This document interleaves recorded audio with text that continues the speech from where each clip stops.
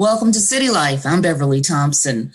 As we continue to look at the work of the Recovery and Renewal Task Force, some offices are beginning to open back up or are beginning to make plans for opening to employees. There's a lot of concern about how safe it really is to go back into such settings.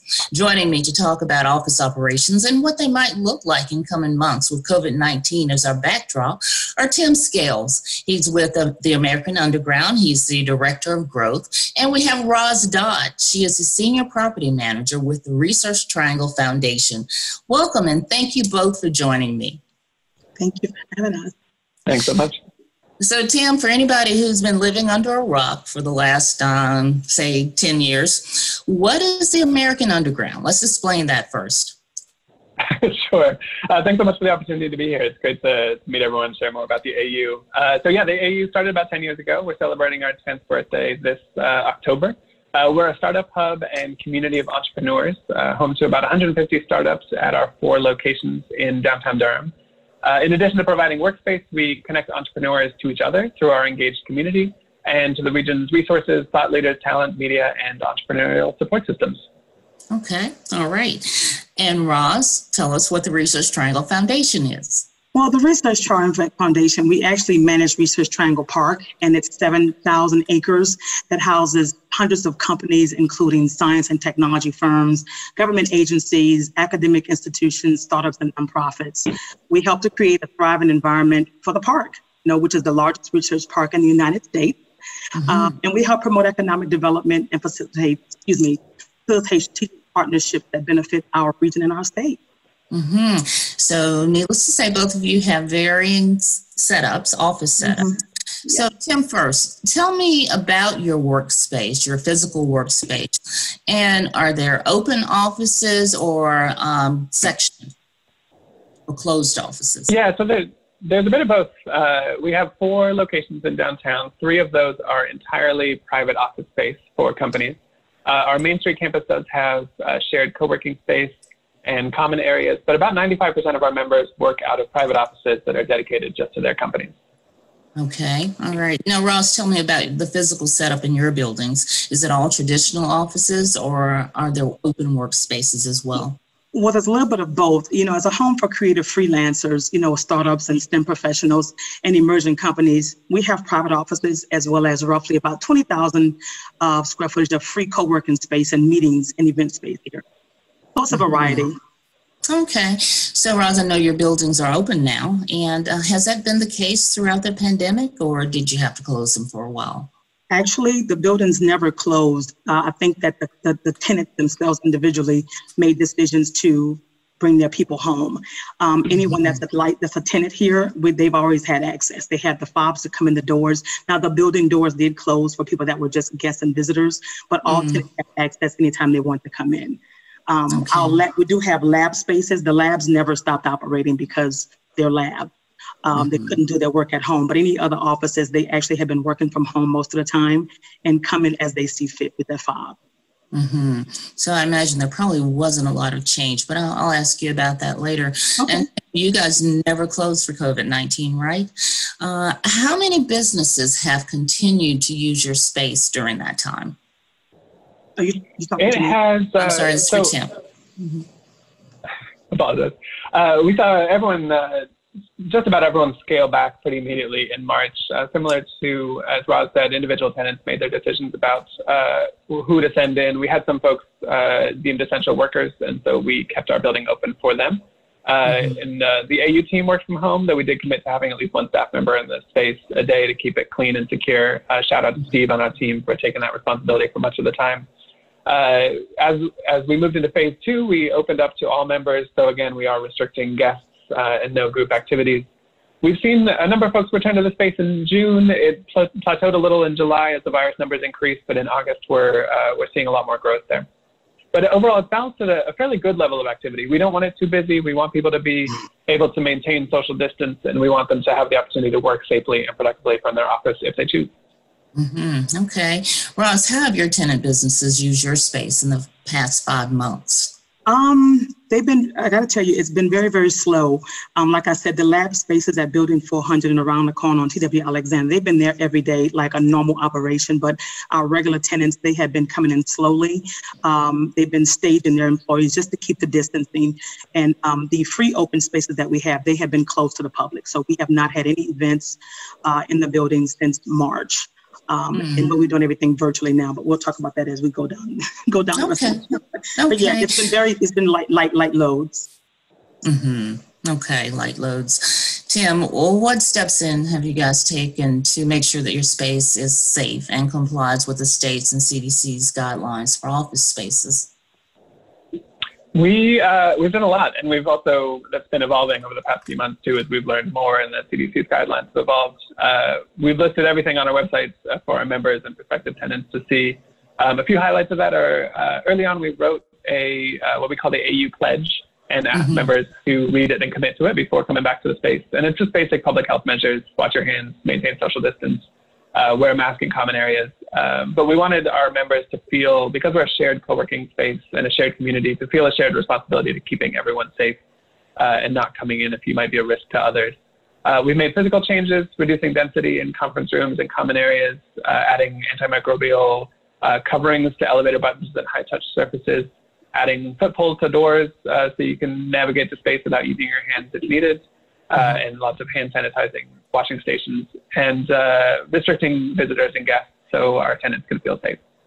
Mm-hmm. So you made accommodations, but you also relied a lot on the um, tenants to do to take responsibility for themselves, huh? Exactly. Yeah. I mean, it's all about common sense and taking precautions uh, that are not just for you, but are for the community. And uh, we've been happy that our members have been thoughtful, not not just about themselves, but also about keeping others in the community uh, safe and understanding people's different risk uh, tolerances. Mm-hmm. Well, it's the same question for you. What have you all done to make sure that your space is safe and healthy? Okay, a lot of what Tim just mentioned before, touch-free stations, disinfectant. You know, we've also additionally posted signage throughout the campus to promote washing your hands and waiting for your distance to be clear. We've upgraded our HVAC filtration system to hospital grade. We're doing quarterly electrostatic disinfecting throughout all common areas in the building. Uh, mm-hmm. Uh, we're also installing the foot operated door handles in high traffic areas. And previously, you know, our co-working floor was on a first come, first serve basis. But now we're implementing a co-working CRM so that people can check into the space and still still going to be free. But this will allow us to properly be able to notify people there's an emergency or case down the road if possible. Uh-huh, uh-huh. Okay. Uh, Tim, I know that there are two, over 200 Durham-based businesses that have completed the health and safety checklist as part of the Back on the Bull campaign that's being done by the Recovery and Renewal Task Force. Uh, office operations is one of the industry-specific checklists available. As one of the businesses that has used this checklist, talk some more about the required steps that are unique to office operations. Sure. And yeah, I just want to say the, the Back on the Bull campaign has been uh, remarkable. We had made a, a, number of changes ourselves before this came out, but then our operations team went through that training uh, and folks from the city came and, and, gave some assistance to us and we learned a lot more and were able to make some even uh, better changes to the space to keep it safe. Uh, a lot of it is it's fairly straightforward, just ensuring that folks are sticking to um, the public health procedures, but it's to encourage telework and virtual meetings when possible, avoid gatherings, restrict access to communal spaces, uh, reduce touch points as much as possible, and as Roz said, post signage just to keep this top of mind for folks to encourage hand mm-hmm. washing and social distancing. Mm-hmm. Okay. Roz, what do you see as some of the special considerations for office buildings that have to be kept in mind, uh, especially when reopening during this time? Um, well, um, in most of our high traffic areas, like the, the break rooms in the kitchen and stuff like that, we've eliminated high touch areas and materials like the single use uh, items in the kitchen areas as opposed to just grabbing one from the open space. They're all individually wrapped. Um, we've removed half of those, the markers, dry erase markers for the conference rooms, and we're going to have to have those disinfected per usage. Um, and we think it's smart to take reopening back in stages so that you're not overwhelmed all at once. So currently we're allowing tenants only um, to make adjustments uh, to our plan before we reopen. So we're finding out what the tenants are doing so we can try to make sure we're all on the same page. We're keeping them mm. close to what we're doing. You know, uh, I think communication because everyone's dealing with this so differently. It's a it's a Definitely. who knows what to do type of thing. It's one day at a time. So I think mm-hmm. working together in effective communication is going to help us all. Just being smart, you know, um, individually taking responsibility and us as an organization making sure that our public spaces they feel safe that we're doing our job uh-huh. Now, Tim, I know for you guys, you, your workspace was founded on the idea of fostering community, communication, and interaction with other starts, startups and entrepreneurs. Uh, has the feel of AU changed, or do you see it changing as people and businesses come back in? It's certainly been a challenge. I mean, fostering community is so much easier when you're seeing people face to face, and so it's been a learning process for everyone. So back in March, we we switched everything virtual as folks uh, started working from home. We uh, offered a lot of programs and social events and that kind of thing for folks to stay connected. And at first, there was a lot of appetite for that. People were looking for connection and looking for uh, reassurance in a pretty uh, anxiety-producing time. Mm-hmm. And then after working from home set in, Zoom fatigue set in, people really weren't looking for yet another uh, video conference uh, to end the day.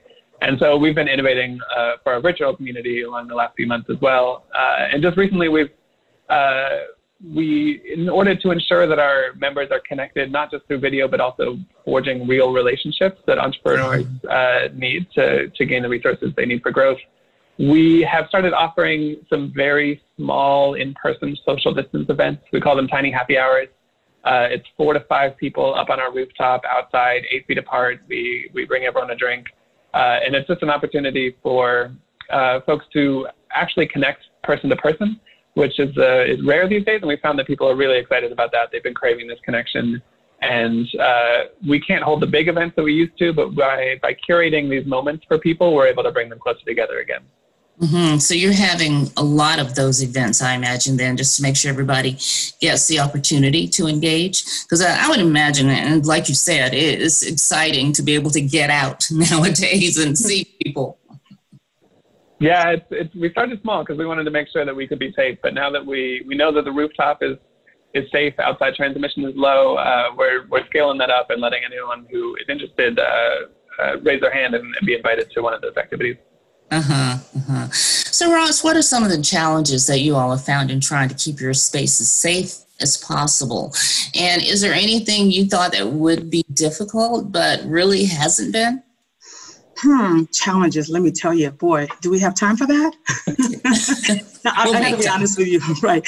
Everyone is approaching this in a way that they think is best for them, and, and since we understand that, we just want to make sure that we make we keep them safe. And I think that the rules that we've put in place, we're just following the government's mandated rules, right? And mm. if our that is to remain calm and confident with the rules we put in place, the tenants will respect that because we have some that are very, very cautious and some that are very laid back. So the key is safety for everyone, and we're just trying to make sure we accommodate them all with our prompt responsiveness, being proactive as opposed to being reactive. Uh, they can respect that. So it's been it's been not as bad as we thought. It was just the unknown to everyone, you know. And once we got a grasp of what we can do and what we have to work with, we've been we've been doing okay with it. Um, and in terms of what we thought would be difficult, it hasn't been. Um, we have a very strong community at the frontier, and, and we think that's special. But we're worried about our programming and our placemaking would really suffer by not seeing people in person. But we've mm-hmm. noticed great response to our programming virtually, so we've been we've been okay. It's just been a challenge and an adjustment to the new things that we're having to do. The new normal, huh? Yeah, yeah. Yeah. But what you're both saying should be encouraging to a lot of businesses who are going through the same thing. Yes. As you mentioned that your co-working space is currently closed. Now, what needs to happen for it to be able to reopen? And when do you see that potentially re- happening? Well, we don't know when it's going to open. It's a TBD thing, you know. Um, we're just waiting to see what the numbers are looking like and what the governor says. Um, we have quite a few inquiries about when are you going to open, when are you open, and they're excited, and we're excited about it as well. But safety is first and foremost. We just want to make sure that we have things in place here on site, um, and the mindset of the people that are here are about practicing safety measures. You know, um, we're taking it one step at a time. You know, we're not interested in reopening too quickly and then having to shut down again if cases are spiking and we're not prepared for it. So, as much as our community means to us, it's also important that our staff feel safe and that the community, when they come back, they're feeling safe as well. So, we're just going to wait and see. We're just in a wait and see phase right now. We just don't, I, I wish we could announce a date, but we can't. Uh-huh. Yeah. This is something new for our um, workers, you know. Yeah. We used to either having or someone giving us the answers and the, the immediate answers, and it's no. not to be. But this question is both is for both of you. How do you think COVID-19 and the adjustments that office-based businesses have had to make will affect how businesses uh, will use traditional office spaces in the future? Or, or whether it will affect it. So, uh, Tim, let's start with you with that. Sure. Yeah, I think uh, ultimately what I think we'll learn from this experience is that for many office-based companies, like the folks that work out of the AU, people they really don't need to be in the office to get their job done, but they don't also want to permanently work from home or work remotely. Mm-hmm. Uh, so I think our, our members and many other companies are going to be looking at hybrid uh, work from anywhere models where anywhere may include home, but it may include the office. Uh, and it just includes flexibility for what works for people and what allows them to get their jobs done. Um, I think this is going to have pretty major implications for what offices look like on the inside if they shift from uh, permanent workstations to flexible uh, gathering space and collaboration space. Uh, and I think that overall that's also going to be uh, a net benefit for spaces like the AU and like the Frontier at RTP that uh, that already provide that and are a natural fit for people that are looking for that kind of approach to office space. Mm-hmm. So, Roz, what do you think?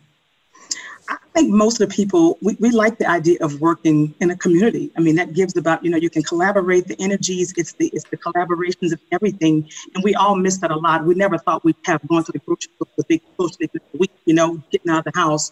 Um, but, but we missed that. So I think that looking at office moving forward, it'll be definitely a different look um, mm-hmm. I think mm-hmm. that the design of the inside of offices will be different. So the architects have a whole new thing to worry about now with designing offices.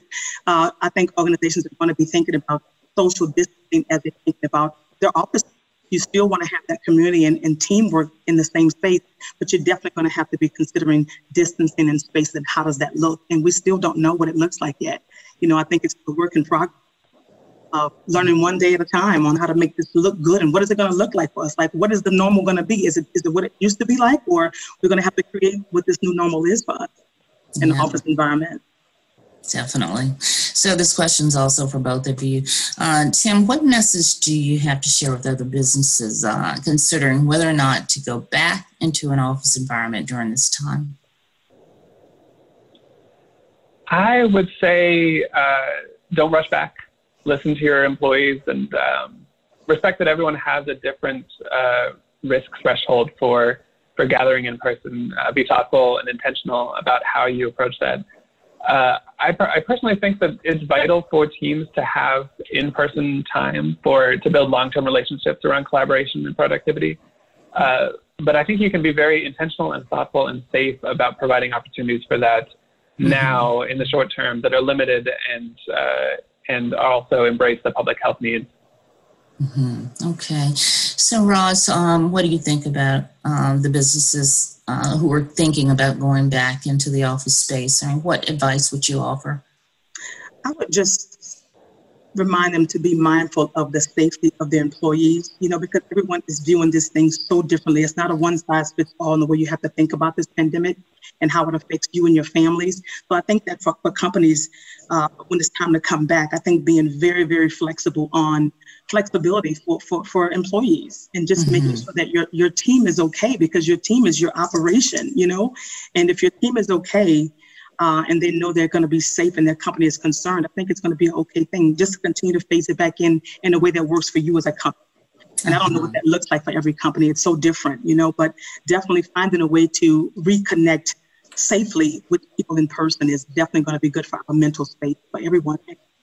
Mm-hmm. So, is there anything else either of you would like to add about uh, how businesses can safely reopen and what they need to think about? Tim? Uh, I will add, it doesn't quite answer the question you asked, but I will add that uh, I've been really, we at the AU have been really happy and, uh, and uh, found really valuable the work that Durham as a city has done here. Uh, with the Back on the Bull campaign, uh, the Durham Has You Covered Mask Marketplace, other efforts that the city has done. And it's a really thoughtful approach to reopening. It uh, takes a lot of stakeholders into account. It's working, which is uh, remarkable, and uh, it makes me proud to be a Durhamite. Great. So thank you all. No, thank you. And Roz, one more chance. Um, wow. I think just keeping safety in mind. I think personal responsibility for your safety uh, uh-huh. of yourself and others. You know, I think just keeping that in mind. We are still growing here at the Frontier. You know, we have Box Yard. We're still developing Box Yard. Um, we have Frontier Hub. Um, we have new things that are happening. So the energy is still here for growth, but we still uh-huh. have to be mindful of safety and what's happening. We're in the middle of a pandemic. So we, we have to be realistic about that, but still look forward to better days and just keeping the right attitude. Great. Thank you both for joining me. Great advice for businesses, and um, you guys are certainly setting a great example as we move into the new normal. So thank you again. Well, that does it for City. Thank you, Beverly. Thank you. Uh, that does it for City Life. And uh, thank you for joining me. Don't forget to follow us on social media and on the Durham Television Network and on YouTube. And listen to our podcast on iTunes. I'm Beverly Thompson. Thank you again for joining me to learn more about city life in Durham.